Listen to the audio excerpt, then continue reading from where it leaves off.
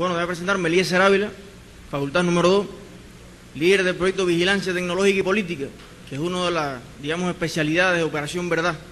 En este caso se dedica al monitoreo constante del Internet y la emisión de reportes y, y combate como tal en esta área. Vamos a ver el primer video que tiró Cabo Malanga en su programita. Cuando cerraron el país a la información internacional y no se podía publicar un verso sin que Fidel lo autorizara. Cuando dijeron dentro de la revolución todo y fuera de la revolución nada. Y nos educaron a todos nosotros bajo su férrea doctrina comunista. ¿Cómo es que Lacey no se va a explicar? Que Eliezer Ávila, gente de zona, Miren qué pintita. A ver. Qué lindo Nitiliti.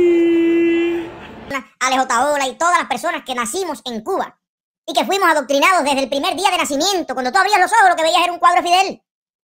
¿Cómo alguien se va a preguntar? ¿Cómo es posible que nosotros, siendo unos niños, siendo jóvenes, siendo tal, no repitiéramos las consignas de la revolución? Y más aún, ¿cómo se va a asombrar alguien de que cuando empezamos a tener otra información, otra perspectiva, cuando empezamos a descubrir que habíamos vivido en una mentira absoluta, ¿cómo alguien se va a asombrar de que despertemos? De que nos recontracaguemos en todo lo anterior, en lo que no escogimos, en lo que nos impusieron. Y nos lo impusieron los maestros, y lo impusieron los vecinos, y nos lo impusieron nuestros padres, y nos lo impusieron nuestros abuelos, y por primera vez en la vida estamos escogiendo nosotros, por nosotros mismos, algo propio. Por primera vez en la vida estamos, gente de zona, de Semer Bueno, Yomil, y yo, y Michael Osorbo, y millones de cubanos, hoy, en este momento, por primera vez en la historia, estamos escogiendo algo por nosotros mismos, y estamos escogiendo la patria y la vida. Yo hice una pregunta bien precisa. Sí. Si se crea, si nosotros vamos a votar y vamos a financiar un representante en el exi- eh, acá en, la- en- los emigrados, Yo anoté, yo tengo aquí lo, que, lo que tú dijiste. ¿cuál es, es- exactamente? Eso, es lo- eso es lo que yo quiero que tú me... punto ahí, eh, yo voy a responder eso porque anoté todo lo que tú dijiste, lo tengo aquí. Ahora estoy hablando de otra cosa. poco. Bueno, yo, yo mencioné un Paco y a lo mejor un Paco no tiene muchos seguidores, pero por ejemplo te puedo hablar de Somos Más. Somos Más era un grupo muy íntimo en Cuba.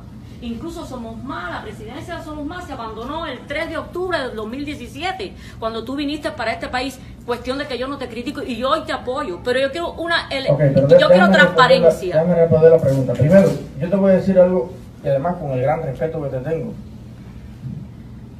porque creo que si algo no podrás encontrar en la historia, es y nada más no, no lo lograrías de ninguna forma. Va a ser una palabra que no sea de, de, bondad y de caballerosidad contigo con cualquiera. Pero te voy a ser muy franco. Te voy a decir algo muy franco. Tú no tienes derecho a explicar lo que pasa con Somos Más porque evidentemente no lo conoces y lo que has dicho no es cierto. Yo soy el presidente de Somos Más. Y los cubanos tenemos que centrarnos en, en- en- en- en también respetar eso. Yo soy el presidente electo del movimiento político Somos Más por los de Cuba y por los de 29 países. ¿Y sabes por qué te hablo con esta autoridad? Porque yo creo que los que estamos hablando de democracia tenemos que respetar las elecciones. Porque los miembros que están aquí de Somos Más y esta persona que es miembro de Somos Más y es miembro del Consejo Nacional de Somos Más, me dio su voto para representarlo. Pero es que uno de los Ok, lineamientos vamos a seguir. Más que plantean Vamos a que directiva tiene que ser de cinco representantes en el exterior solamente puede ser uno, que es lo que nos va a representar a nosotros. Te voy a responder en dos exterior. palabras solamente. Dice, la, dice el reglamento de Somos Más que el presidente de Somos Más debe ser residente en Cuba con al menos cinco años de antelación. Al momento de las elecciones. al momento de las elecciones. No, si hacemos elecciones incluso dentro de algunos meses, yo soy del único país que yo soy residente en el mundo, es de Cuba. Y yo Ok. puedo estar temporalmente en el país que yo entienda.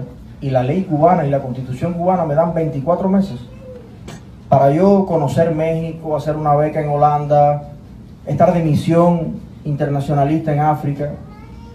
Y yo creo que lo que no me quita la constitución comunista cubana, tú no tengas interés de quitármelo. Porque los cubanos estamos para darnos más derechos, no, no que Entonces, el, el punto no es aquí discutir de Pero precisamente no es el punto, porque apoyar, eso le interesa a los apoyar la miembros- idea de vamos. los cambios Eso es- radicales en Cuba. Esa es la idea de todo y ya- la- y el ya- deseo. Ya escuchamos, ya escuchamos eh, tu discurso, tu oportunidad. Yo lo que te pido me dejes desarrollar la mía, eh, mi reunión, la que he convocado aquí y eso, y explicar las cosas a las que yo quise venir aquí a hablar y convoqué a las personas que querían escuchar. Entonces, eh, eso es importante conocerlo. Somos Más el único movimiento que ha hecho elecciones en la oposición cubana. Y eso merece respeto. Yo represento a todos los miembros de Somos. Y por eso pido respeto a eso. Se presentaron dos candidatos a presidente de Somos. De hecho, fueron cuatro. Quedaron dos. Alexei Gámez Alonso, informático, un tipo intachable. Y la inmensa mayoría de los miembros del movimiento en elecciones con observación de terceros y con todas las garantías decidieron que yo lo representaba. Aquí, en Alaska y en Camagüey. Por tanto, no tiene derecho nadie a cuestionar eso. Y por eso hablo a nombre de los miembros y le vengo a presentar a ustedes los proyectos que nosotros tenemos. El que no quiera apoyar eso y quiera apoyar a lo que quiera, pues está en su derecho. Esa es la democracia. Yo no pretendo que los 11 millones de cubanos me den su voto, porque habrá que, ver, habrá que tener otros partidos, ¿no? Otros partidos tendrán otros votos, tendrán otros seguidores. Pero me siento muy orgulloso de ser el único líder de la oposición cubana electo. Por tanto, hablo con mucho orgullo de eso. ¿Quieres, te gustaría ser presidente de Cuba? ¿Te parece legítimo aspirar a la máxima magistratura de, de nuestro país o no? Le haya visto la cara a Díaz Canel hoy cuando fue presentado como propuesta para ser presidente del país, se preguntaría, bueno, este señor lo está disfrutando, está sintiéndose eh, cómodo con esta posición o realmente está mostrando una cara de miedo, de preocupación extrema. Por la cabeza y lo he analizado profundamente y llego a la conclusión de que definitivamente la única forma es por la salud. Así, desde allá, desde el satélite, ¿no? oye, que sí, que ya, que movieron la, la esto para acá, bueno, perfecto, métale un cuetazo y haga la mierda. Lo único que necesitamos de usted, señor Donald Trump, es que ponga un par de portaaviones. Lo que sí voy a decir es una cosa, eh, yo no estoy dispuesto a morir ni por Cuba, ni por la libertad, ni por, ni por absolutamente nada de eso, ni soy Martí, ni soy Fidel.